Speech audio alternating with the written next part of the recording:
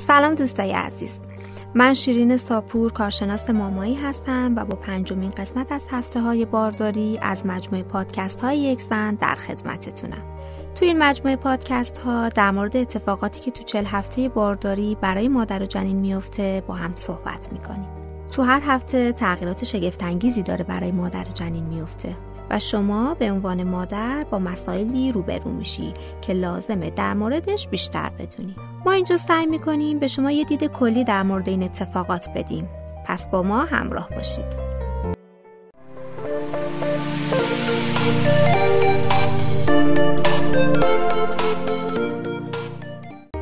این برنامه رو می‌تونید از طریق اپلیکیشن یک زن و همینطور از سایر اپلیکیشن های پادکست بشنوید. اما هفته پنجم بارداری. جنین تو هفته پنج بارداری اندازه یه دونه سیبه. جنین شما سریع رشد می‌کنه و احتمالا هفته دیگه دو برابر میشه. جفت و بند ناف در حال تلاش برای تولید مواد غذایی مناسب برای جنینن. اما جنین هنوز از کیسه زرده داره برای تغذیه خودش استفاده می‌کنه. قلب جنینم تو هفته پنج بارداری فقط یه لوله است که ضربانهای نامنظم داره. این پمپ و ضربان کم کم تو هفته های دیگه منظم میشن. بعضی سلول ها به لوله عصبی تبدیل میشن که بعدا هم ستون فقرات و مغز رو به وجود میارن. علائم هفته پنج بارداری به چه صورتیه؟ تغییراتی که تو هفته پنج بارداری داری تازه شروع علائمی که تو هفته های بعد خواهی داشت. پس نگران نباش. سه ماهه اول سختترین قسمت بارداریه و فکر نکن که کل بارداری قرار همینقدر سخت باشه. از خودت مواظبت کن استراحت کن. راههایم برای آروم کردن خودت پیدا کن. از علائم این هفته میشه به مواردی که الان بهتون میگم اشاره کرد. مثل درد سینه ها یا تهوع صبحگاهی. متاسفانه برخلاف اسمش تهوع رو تو هر زمانی از روز می‌تونی داشته باشی. و برخی از مامانا بیشتر از بقیه دچار این حالت میشن. مخصوصا اونایی که دوقلو بار دارن. بهتره حجم وعده غذایی تو کم کنی و تعدادش رو زیاد کنی. ممکنه احساس خستگی کنی یا اینکه دردی رو توی شکمت حس کنی. که این درد به خاطر لانه گزینیه یه درد خفیفی هم هست اما اگه شدید شد حتما به پزشکت اطلاع بده.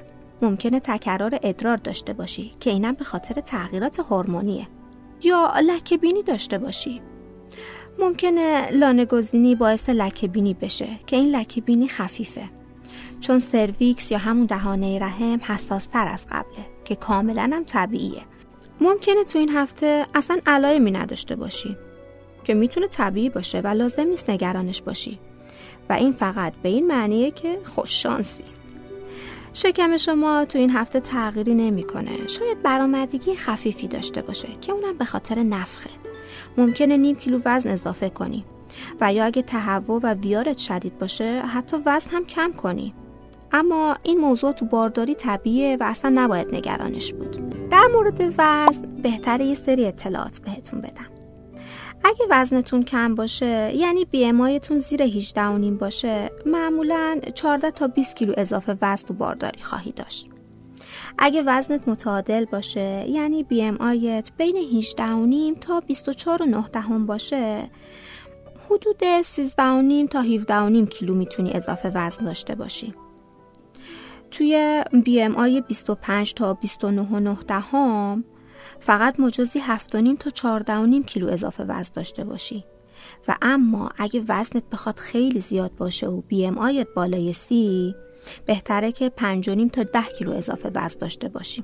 برای محاسبه BMI خودتون می‌تونید از ابزاری که تو اپلیکیشن یک زن قرار دادیم استفاده کنید. خب سونوگرافی قراره چه چیزی رو توی هفته پنجم به ما نشون بده؟ اگه سابقه بیماری یا مشکلات قبلی رو توی بارداری نداشته باشی لازم نیست تو این هفته سونوگرافی بدیم و دکتر هم معمولا سونو رو برای هفته هفت، هشت و یا حتی ممکنه نه بارداری برات بذاره. پس یه خورده صبور باش. معمولا سونوگرافی شکمی انجام میشه. اما تو مراحل اولیه بارداری ممکنه سونوگرافی واژینال تجویز بشه. سونوگرافی اول حاملگی، بارداری خارج رحم و سایر مشکلات بارداری رو نشون میده. اگه دکتر رابطه جنسی رو برای شما من نکرده رابطه جنسی در طول بارداری مشکلی نداره. تو هفته پنج بارداری ممکنه به خاطر حالت تهوع میل جنسی زیادی رو نداشته باشی و یا بعضی مامانا ممکنه میل جنسی زیادی رو هم داشته باشن. بعد رابطه جنسی بعضی از خانم ها دچار لکه بینی میشن. که کاملا طبیعیه اون هم به خاطر حساس بودن دهانه رحمه اما اگه لکه بینیت متوقف نشد بهتره که به پزشکت مراجعه کنی در مورد تغذیه و ورزش تو هفته پنج بارداری چی می‌دونید؟ سبزیجات با برگای سبز، میوه، ماهی با جیوه کم، حبوبات همه اینا رو مصرف کنید که بارداری سالمی رو بگذرونید.